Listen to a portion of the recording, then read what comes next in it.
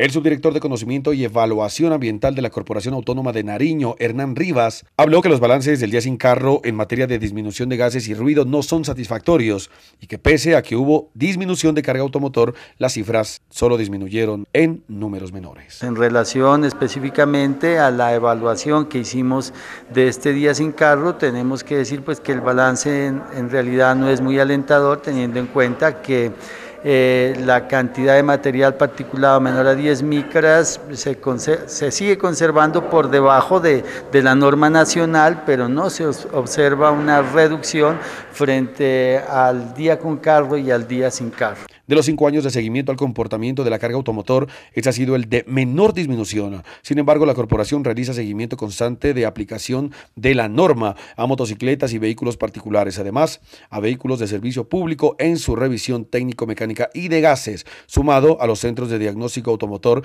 también se le hace visitas periódicas para que puedan certificar con transparencia y objetividad. Frente a la regulación que hace la corporación a los eh, servicios, a los transporte de servicio público, específicamente los buses, nosotros los controlamos en la aplicación de la norma a través de los CDAs. ¿no? Los CDAs son el, instrumento regulatorio eh, por excelencia, el que determina la calidad técnico-mecánica. Según el funcionario, se desarrollaron operativos de tránsito en Ipiales y Túqueres para realizar control de la norma ambiental.